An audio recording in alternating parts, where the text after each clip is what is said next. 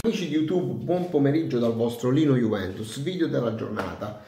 Tutti quanti in questo momento, in questi giorni, in queste ore, dopo gli, i due erroracci di Scesni nella partita contro l'Udinese, stanno dicendo eh ma Scesni ci ha salvato un sacco di partite, eh ma Scesni per una partita che ha sbagliato lo state mettendo in croce, eh pipì e papà. Ragazzi, il mio è solo un discorso.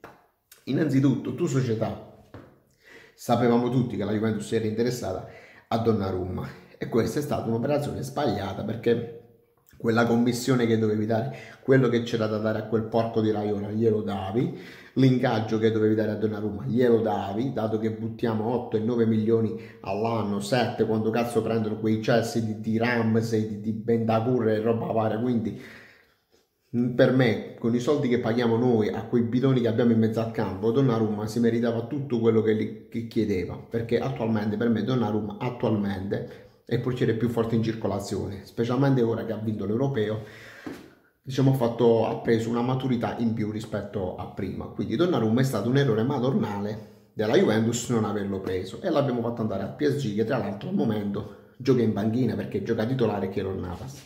Ma ragazzi il problema di Scesni è un altro. Forse tanti di voi ricordate, oppure chi è più, chi è più piccolo magari l'ha sentito per nominare, però non l'ha visto all'opera, ma vi ricordate Van der Sar? Van der Sar, a me Scesni in questo momento mi ricorda Van der Sar, Van der Sar c'erano partite dove era impenetrabile, faceva parate mostruose. E c'erano partite dove prendeva gol da fessi, proprio da polli. Poi Van der Sar essendo alto due metri e passa, i palloni anche a tre all'ora da sotare, il tempo che, il tempo che si calava, il pallone era morto, quindi Van der Sar anche aveva queste giornate super e giornate che non ne prendeva uno. Quindi Scesni, l'abbiamo visto già, sono un paio d'anni che stiamo vedendo un Scesni che non dà più le garanzie che dava magari appena arrivato alla Juve. L'abbiamo visto anche quest'anno nell'Europeo, che Scesni, avete visto quello che ha preso con la Polonia, Tutte, tutti errori suoi. L'anno scorso con il Porto si è messo in croce Ronaldo per, la, per il fatto che si è girato in barriera, ma là l'errore ce l'ha pure lui, perché il tiro non era irresistibile all'andata sull'errore di Bentancur. È vero che l'errore di Bentancur, però tu portiere lo vedi che Bentancur dietro c'ha la persona, che cazzo gliela appoggia a Bentancur? Cioè questo è un portiere che ora con la testa è difficile recuperarlo. Tra l'altro ho saputo che ha fatto pure un incidente con la macchina dopo la partita di domenica, quindi poi si è aggiustato proprio la serata con i fiocchi. E quindi devo dire che fortunatamente non è successo niente perché poi voglio parlare a quelli che addirittura gli augurano la morte quelle gente imbecille che non voglio nemmeno qui stare a spendere parole. Lo possiamo insultare nel senso, come ho fatto io, portiere scarso, perché Scesni, io lo dissi anche nei video degli scorsi anni, Scesni non è uno che può sostituire Buffon.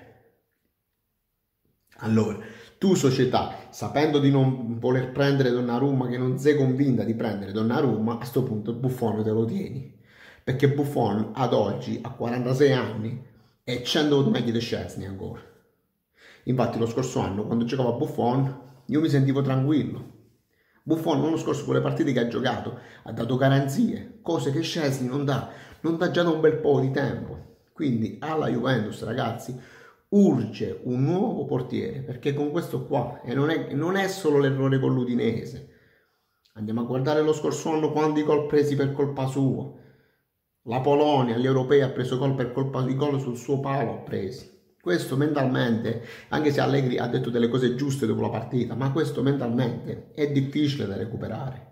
A questo punto abbiamo Perin, diamo una chance a Perin. Diamo un'occasione a Mattia Perin che merita di avere anche lui a questo punto una chance alla Juve. Perché ragazzi, con questo portiere qua, ve lo dico io, mentalmente è difficile da recuperare. Poi Questione Caio Giorgio. Caio Giorgio ha avuto un infortunio che tra una decina di giorni circa si valuterà l'entità dell'infortunio e vedere quando ce l'avremo a disposizione. E ragazzi, Caio Giorgio purtroppo... Eh, poi ho sempre detto che la Juventus in ritiro deve andare o all'Urt o a Mergiugori.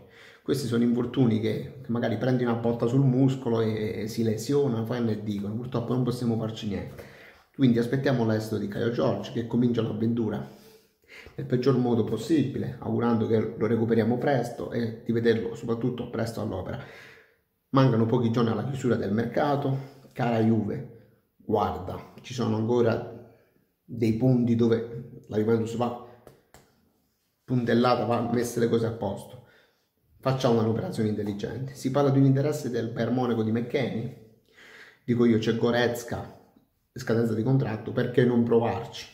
Magari ci riesce.